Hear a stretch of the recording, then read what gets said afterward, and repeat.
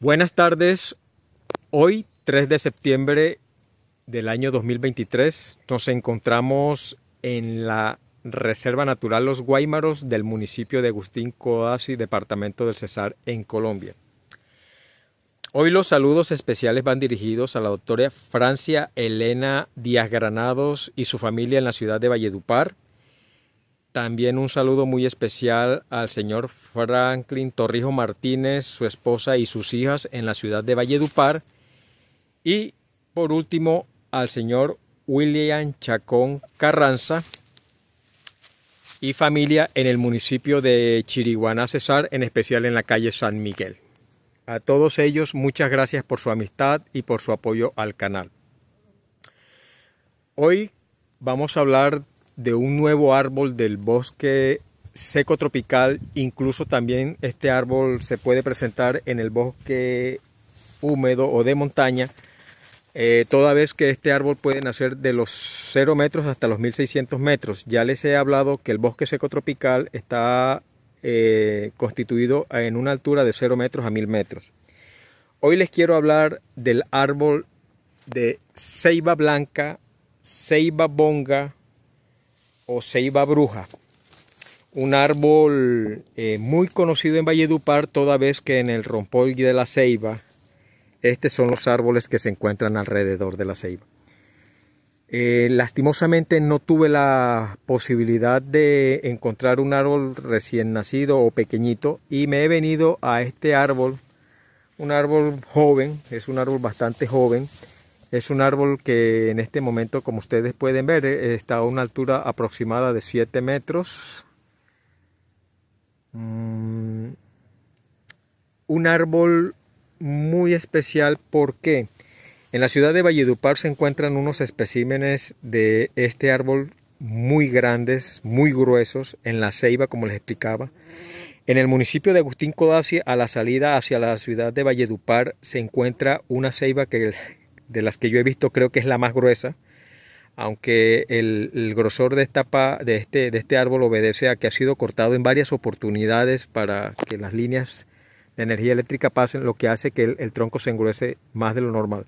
Pero las que están en Valledupar son unas ceibas que son eh, eh, eh, muchísimo más grandes sobre todo que son árboles que se han conservado de una manera natural y no, no han sido cortados en ningún momento de la vida del árbol.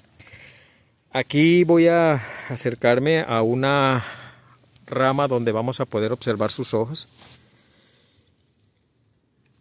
Como ustedes pueden ver, sus hojas están compuestas, digamos, por varias hojitas en, en una sola, digamos, hoja.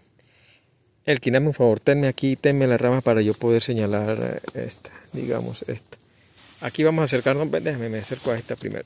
Aquí como pueden ver, esta es una sola hoja. Es una hoja que está compuesta por 1, 2, 3, 4, 5, 6, 7, 8 y 9, digamos, yo siempre le he dicho que yo los llamo deditos, pero realmente eh, tienen otro nombre. Este árbol tiene una gran particularidad como la ceiba amarilla y es que este árbol tiene unas espinas en su tronco desde muy joven. Y en este árbol en particular quiero mostrarles lo impresionante, lo impresionante que son las espinas que tiene este árbol. Aquí lo pueden ver. Se trata de un árbol que tiene unas espinas supremamente grandes, gruesas, y estas espinas a través del crecimiento del árbol, a través de los años, él las va perdiendo y es así como vemos que las ceibas que son gigantes en su tronco en la parte mm, inferior ya no tiene este tipo de espinas. Pero aquí en este árbol, que es un árbol joven, como le digo, este árbol puede tener aproximadamente unos cuatro años, quizás cinco años, y como pueden ver, eh, es un árbol que tiene varias tonalidades, entre esas, como todas las ceibas, tiene las tonalidades eh, grisáceas, unas tonalidades grisáceas con unas grietas en su tronco, y ya empezamos a ver unas partes verdes, como el color de las iguanas.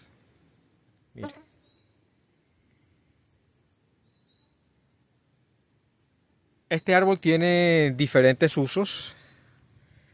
Uno de los usos eh, que se tienen de este árbol es que de la flor de este árbol está cubierta con una, digamos, una especie de plumas o pelusas que la utilizan para hacer almohadas. Este árbol, su madera es una madera muy liviana, es una madera de color blanco que la hace muy especial para fabricar juguetes y también para el aeromodelismo, para hacer piezas muy livianas para estos aviones que son de control remoto que se utilizan con gasolina eh, por, su, por ser muy livianas y por ser una, una madera eh, resistente al pasar el tiempo. Como les decía, no pude mostrarles un árbol más pequeño, eh, pero Sí puedo decirles que en la Reserva Natural Los Guaymaros, eh, de las ceibas que tenemos, incluida la ceiba amarilla, incluida la ceiba eh, majagua, este es de los árboles que menos tenemos. Creo que en la, en la propiedad no contamos con más de 25 árboles de estos. En este momento me voy a desplazar a un lugar donde encontramos quizás la ceiba más gruesa y más alta que tiene la propiedad hay que ser claros, estos son unos árboles de porte y tamaño grande, pueden llegar a alcanzar los 40 metros y quizás los 8 metros en su circunferencia del tronco, que lo hace uno de los árboles más grandes del bosque seco tropical. Voy a, a, parar un momento el video para desplazarme al lugar de la propiedad donde se encuentra otro de los árboles grandes de la ceiba blanca, ceiba bruja, ceiba bonga. Bueno, aquí nos encontramos en uno de los árboles de ceiba blanca, ceiba bonga, eh, más altos de la finca. Este es un árbol que puede tener aproximadamente unos 22 metros, 23 metros de alto. Tiene una copa amplia de unos 35 metros, como ustedes pueden observar. Tiene aquí una protuberancia muy parecida a la a la ceiba majagua, haciendo total claridad de que esto se trata de una ceiba bonga, toda vez que la hoja de la ceiba majagua es totalmente diferente a este. Este tiene las hojitas más, los deditos de las hojas son más delgados en comparación a la ceiba majagua. Aquí ya Helkin ha hecho la medición, vamos a acercarnos. Bueno, en este momento aquí muestra que está en 1.40, no, perdón.